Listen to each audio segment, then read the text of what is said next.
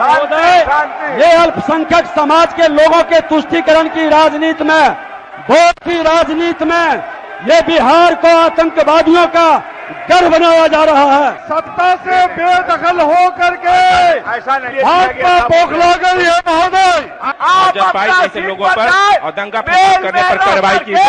बोलने की इजाज़त नहीं दी जाएगी। जो दंगा करवाते हैं वही पूरे बिहार के अंदर घूम घूम करके ये बात बताते हैं कि सरकार पोषित दंगा हो रहा है। जी नहीं, बिहार को जलाने की कोशिश आरएसएस के लोग कर रहे हैं और भारतीय जनता पार्टी के लोग मुखौटा बन करके ये सामने खड़ा है। इसीलिए आरएसएस के ऊपर पूरी तौर पर प्रतिबंधित होना चाहिए। वो बीजेपी के फालतू गुंडों ने किया है। और हमारी मस्जिद तोड़ी गई। मस्जिद का मीनारा तोड़ा गया। मदरसे जलाए गए। धार्मिक ग्रंथ जलाए गए। चालीस से ज़्यादा दुकानों को लूट लिया गया है। और अकलियत की जान माल इज़्ज़त आबरू खतरे में है महोदय इज़्ज़त आबरू खतरे में है। हमारा चलना फिरना मुश्किल हो गया है। हमारा हमारी मस्जिद हमारी मस्जिद भी नहीं है। आप पोस्टर ले लीजिए। पोस्टर लीजिए। माननीय सदस्य अपना अपना स्थान पर बैठ जाएँ। अपना स्थान ग्रहण करें। नेता प्रतिपक्ष। अध्यक्ष महोदय नेता प्रतिपक्ष। बड़ा दुखद और शर्मनाक घटना घटित हुआ है आज बिहार में उठाइएगा बाद में उठाइएगा। अभी बैठिए। रामनवमी के शोभा यात्रा पर जिस तरह मैंने पुकारा है। सासाराम बिहार शरीफ मुजफ्फरपुर भागलपुर आप अंदर घटना घटित हुआ है। आप महोदय। आपको भी कहने का अवसर देंगे आप बैठिए। प्रत्येक प्रत्येक थाना में शांति समिति की बैठक हुई। तभी तो आप फिर घटना की ज़िम्मेदारी। लीजिए तब तो ही थाना प्रभारी पर क्यों नहीं ली जा रही है? शांति समिति की बैठक होती है महोदय। हर पक्ष के लोग रहते हैं और जिस थाना क्षेत्र के अंदर संवेदनशील है वहाँ इस तरह की घटना घटित हो रही है। तो सरकार पहले से सजग क्यों नहीं है?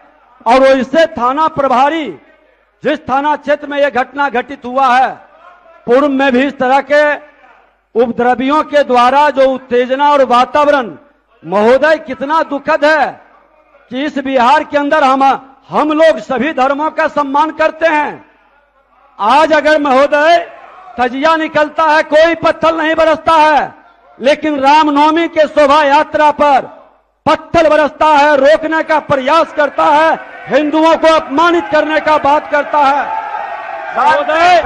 ये अल्पसंख्यक समाज के लोगों के तुष्टीकरण की राजनीति में वोट की राजनीति में ये बिहार को आतंकवादियों का घर बनाया जा रहा है। आप बनावे! सासाराम में बम बनाते समय विस्फोट हुआ लेकिन कार्रवाई नहीं की गई। बांका में भागलपुर में बम बनाते समय भी विस्फोट हुआ उसको दबाया गया।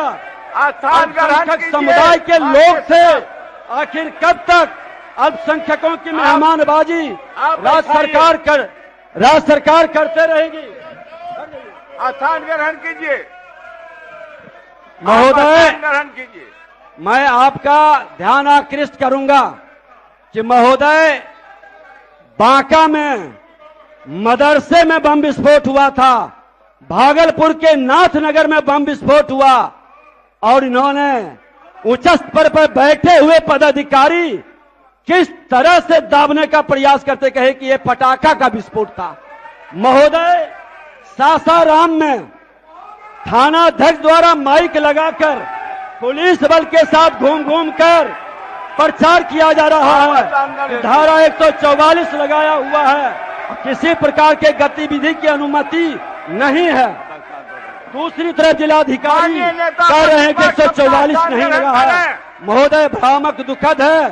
सरकार इस तरह का खेल तुष्टीकरण की राजनीति सुनिए, की राजनीति महमूद साहब आप जगह पर जाकर अपना बात रखिए। महमूद साहब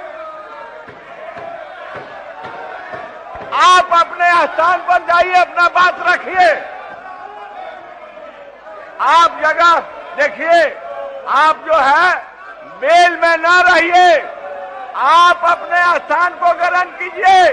आपके नेता प्रतिपक्ष के द्वारा जो कहना था, उन्होंने कह दिया, मैंने उनको इजाज़त दिया था। अब आप स्थान ग्रहण करें। माननीय सदस्य महमू- महबूब साहब बोलिए। महोदय बोलिए महबूब साहब। महोदय। बोलिए महबूब साहब। महोदय सत्ता से बेदखल हो करके ऐसा नहीं कर। भाजपा महोदय आप के नेता को बोलने के लिए भाजपा। बौखला गई है महोदय। आप स्थान ग्रहण इन्होंने रामनवमी के अवसर पर पुरुषोत्तम भगवान रामचंद्र जी के जन्मदिन पर इनके बजरंग दल पुराने आदमी और। आरएसएस वालों ने सुनो ये जो साजिश का दंगा फैलाया महोदय ये दंगा फैलाने में महोदय बजरंग दल का हाथ है आरएसएस का हाथ है बिहार शरीफ में इनके विधायक डॉक्टर सुनील ने साजिश करके एक महीना तक दंगा फैलाने का साजिश किया महोदय। महोदय! से बजरंग दल पर प्रतिबंध लगे। महोदय। आरएसएस पर प्रतिबंध लगे महोदय। अजय कुमार माननीय सदस्य माननीय अध्यक्ष महोदय आज पिछले दिनों तीन रामनवमी के दिन से पूरे बिहार के अंदर सुनियोजित तरीके से आरएसएस विश्व हिंदू परिषद के लोग दंगा करवा रहे हैं। और एक तरफा जो है जो दंगा करवाते हैं वही पूरे बिहार के अंदर घूम घूम करके ये बात बताते हैं कि सरकार पोषित दंगा हो रहा है। जी नहीं बिहार को जलाने की कोशिश आरएसएस के लोग कर रहे हैं और भारतीय जनता पार्टी के लोग मुखौटा बन करके ये सामने खड़ा है। इसलिए आरएसएस के ऊपर पूरी तौर पर प्रतिबंधित होना चाहिए। और सुनियोजित तरीके से जिन लोगों ने दंगा करवाया चिन्हित करके उसको गिरफ़्तार करके जेल के बंद करना चाहिए। ये शकील के माध्यम से हम ये मांग करते हैं। अख्तरुल इमाम साहब एक मिनट में। अध्यक्ष महोदय जो घटना पुरुषोत्तम राम जी के जन्म दिन के अवसर पर यहाँ पर किया है वो बीजेपी के फालतू गुंडों ने किया है। और हमारी मस्जिद तोड़ी गई। मस्जिद का मीनारा तोड़ा गया। मदरसे जलाए गए। धार्मिक ग्रंथ जलाए गए। चालीस से ज़्यादा दुकानों को लूट लिया गया है और इकतीस तारीख की घटना हुई। फिर एक तारीख को पर दंगा भड़काया गया। महोदय इन लोगों पर लगाम लगाया जाए, पाबंदी लगाई जाए। और सरकार से मैं मुतालबा करता हूँ कि जिनकी क्षति हुई है, उनका मुआवजा दे एक तारीख को घटना क्यों घटी, उसका जवाब दे।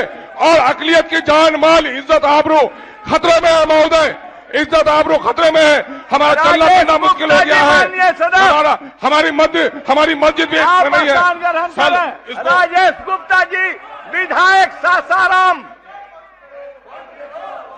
सासाराम में जो दंगा कराया गया है कुछ खास लोगों का प्लानिंग के साथ ये काम कराया गया है। ना वहाँ के कोई हिंदू किया है ना मुसलमान किया है। और ये दंगाई लोग जो व्यवसायियों का दुश्मन है पैसों का दुश्मन है लोग कहते हैं कि हम ग्रहण कीजिए। उसकी जाँच कराया जाए। माननीय सदस्य शाहीन साहब। अध्यक्ष महोदय जहाँ जहाँ भी भारतीय जनता पार्टी कमज़ोर पड़ती है उस उस राज्यों में ये दंगा कराने का काम करती है।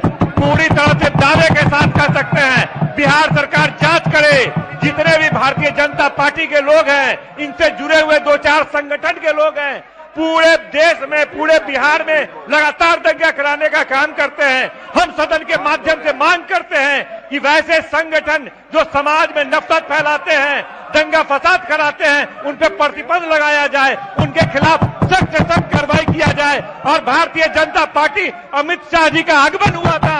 उसी के एक योजनाबद्ध तरीके से भारतीय जनता पार्टी के लोगों ने बिहार का वातावरण खराब करने का काम किया है। जसपाई जैसे लोगों पर और दंगा करने पर कार्रवाई की जाए।